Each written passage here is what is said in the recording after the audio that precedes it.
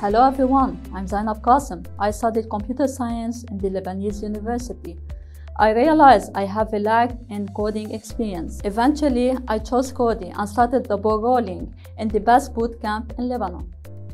Now, I'll talk about my product, that is Khabirak Hadak. Usually, when the accidents happen, people who caught the accident are in a panic and under pressure to find the phone number of the expert that takes a lot of time. This is where my app comes in play.